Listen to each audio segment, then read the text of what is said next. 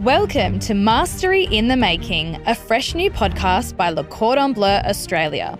Join us as we deep dive into the minds of industry experts, entrepreneurs, and the voices of Le Cordon Bleu, the world's leading education provider in culinary arts and hospitality management. From expert lecturers to our incredible students and alumni, we'll uncover the secrets, stories, and skills that make this industry a world of endless possibilities.